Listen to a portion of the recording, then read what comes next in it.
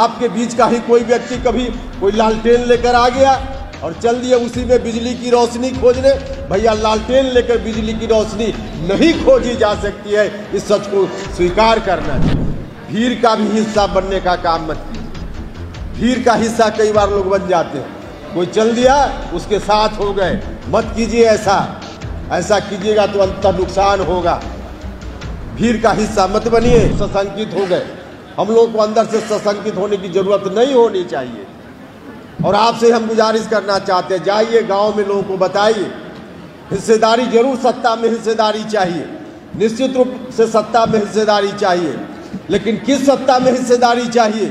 2005 के पहले वाली सत्ता, जिस सत्ता के रहते हुए क्या क्या नहीं हुआ इस बिहार में, उसमें कुछ एमएलए बन जाए, इससे आपका काम चलने वाला है। हिस्सेदारी निश्चित रूप से वैसे समाज को चाहिए। लेकिन उस सत्ता में हिस्सेदारी चाहिए, जो सत्ता आपके लिए काम करे, आपके बाल बच्चों के लिए काम करे, उस सत्ता में हिस्सेदारी चाहिए।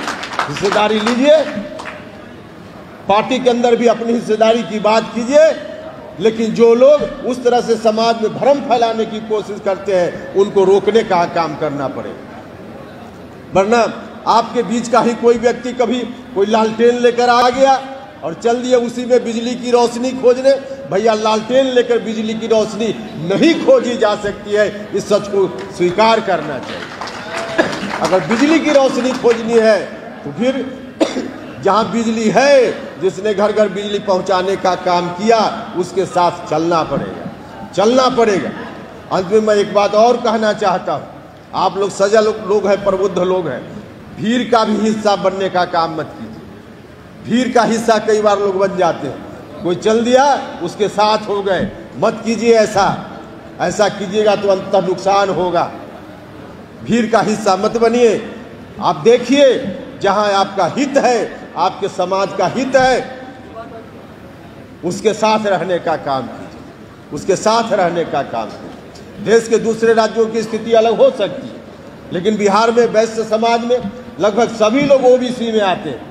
लगभग सभी लोग ओबीसी में आते हैं। ओबीसी जो विरासत है डॉक्टर लोहिया की, उस विरासत के हिसाब से कौन पार्टी चल रही है बिहार? यही पार्टी चल रही जिस पार्टी के मंच पर आप सब लोग आज उपस्थित नीतीश कुमार जी के नेतृत्व तो अगर आप चाहते हैं अपना इंटरेस्ट तो भीड़ का हिस्सा मत बनिए।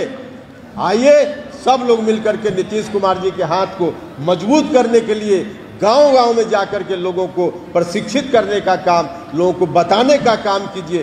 तब जाकर आगे आपका भी भविष्य अच्छा रहेगा और बिहार का भी भविष्य अच्छा रहेगा। तो यही आग्रह आप सब लोगों से करना था। इन्हीं शब्दों के साथ आपने अच्छा किया। कार्यक्रम बहुत अच्छा हुआ। इसके लिए फिर से आपका धन्यवाद। और बिहार भर से जो लोग आए हैं, मैं आप सभी लोगों का धन्यवाद करता हूँ। और भामा शाह जी के चरणों में श्रद्धा सुमन अर्पित करते हुए अपनी बात समाप्त करता हूँ। बहुत बहुत धन्यवाद।